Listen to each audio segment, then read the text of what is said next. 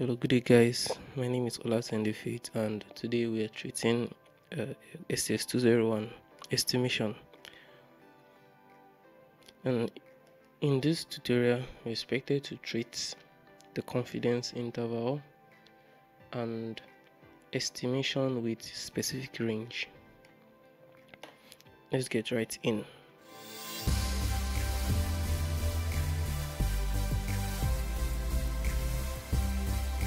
Yeah, welcome back. So we're treating confidence interval, which is used to estimate estimation of population mean. I'm going to go straight to the point, so I won't waste your time. And at the same time, I explain as we go. So when you're estimating population mean from a sample, which is more like finding the confidence interval of any population mean from the sample then the formula you're using is sample mean plus or minus the z score or the alpha level multiplied by the sample standard deviation and uh, the population standard deviation all over sample size. This is actually the formula you're using to solve for any confidence interval. So what does this confidence interval mean? It means, for example, if you are told to pick a number and um, give it a little bit of allowance, oh yeah, let me pick this. If you are told to carry out a measurement, for example, and uh, remember in physics, if you are told to carry out a measurement, they give a particular allowance. Now, that allowance is just for error, for the sake of error. So if you are told to measure a particular, if anything, maybe a measure a length or anything and or the width of an object. And probably the when the lecturer measured it lecturer measured the weight of the object and found it to be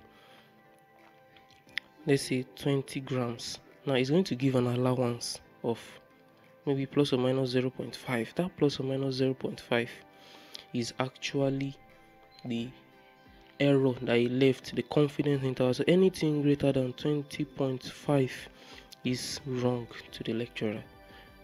And anything less than 19.5 is wrong to the lecturer. So that's the confidence interval he has given. And that's what the confidence interval here means. So if I told to calculate anything and to put an any confidence interval this is how you do it. This is the formula you use. So now let's treat a question. Let's treat a question. Now this is a question.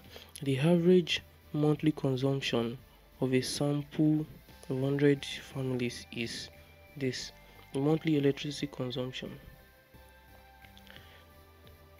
So the sample of the 100 100 families.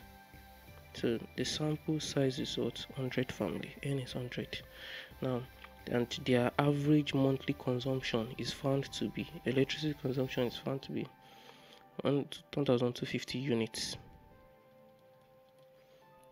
Assuming the standard deviation assuming the standard deviation is 50 units. That's assuming that the population standard deviation this time around is 50 units. For all families.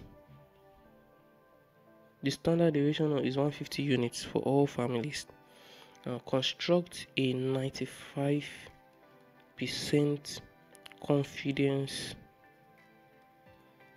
interval estimating the actual mean of electricity consumption. So I'm taking the question again. We have 100 samples, 100 families in the sample taken, and the from the sample it is saying that 1250 units is actually the unit they use monthly. Now, assuming the standardization of all families, this time is taking all, not just this 150, uh, 100 families, all families. Their standard deviation Standard deviation of units taken is 150. Now construct a 95% confidence interval. Remember the question, remember the formula that I gave. X uh, x bar confidence interval is x bar plus or minus the z the alpha level now and uh, multiplied by standard deviation of the whole population all over square root of sample size okay now it's already straightforward. All we just need to do is put in everything but there's one thing here. How do we get this z score? The z score is actually this alpha level this confidence interval. And how do you check it? You check it on a normal distribution well that should be i'm going to cover that in another in another video so that i'll keep this video short.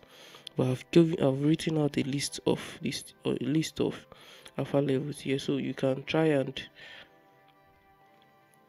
you can try and maybe screenshot or write them down or something. So since it's 95 then this is the one we are going this is the one we are actually working with.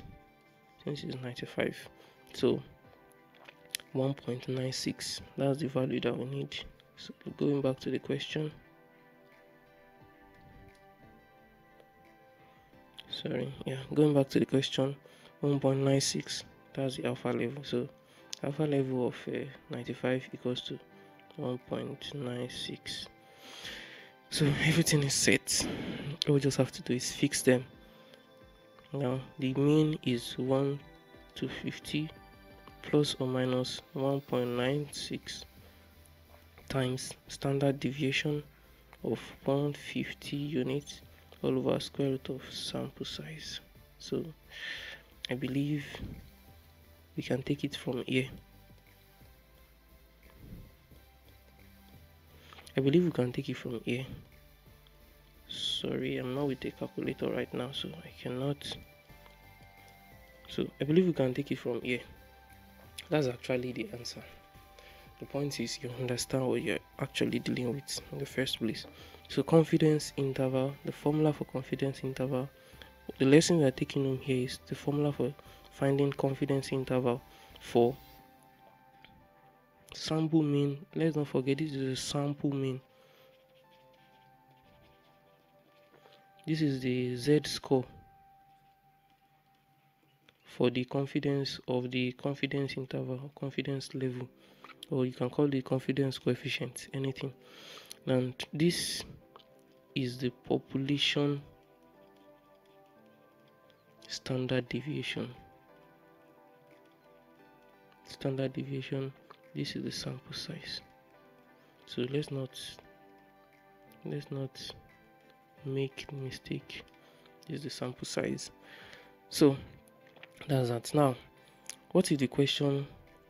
What question was a little bit different? This time around we're told to find we're told to uh, um, estimate given a particular value. Yeah, if, if you don't want your value to pass plus a error of a plus or minus so so so value then how would you estimate the number Okay, now what if the question comes this way? Given that a population with a standard deviation of 8.6, what sample size is needed to estimate the population of mean within 0.5 and 99% confidence? So now here, you are expected to find the sample size. Given that your error shouldn't pass plus or minus 0.5 this is it. Let's write the parameters out.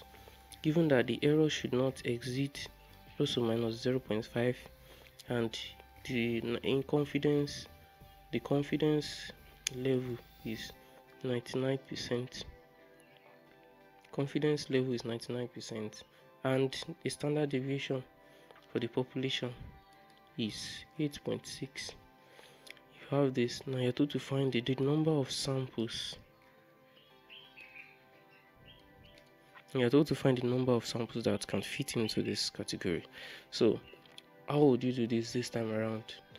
The formula to use is n equals to the alpha level squared plus standard deviation of the population squared more like the variance estimation squared uh, uh, sorry the error squared. So I believe it is straightforward. Now the question now is what is 90 99% confidence? 99% confidence going back to what we have here 99% confidence is 2.576 so 2.576 so this is 2.576 now we can then put 2.576 squared multiplied by standard deviation squared all over error 0.5 squared. So straightforward. So that's basically estimation and um, in the next video we're going to cover hypothesis testing. Thank you for staying with us. Ciao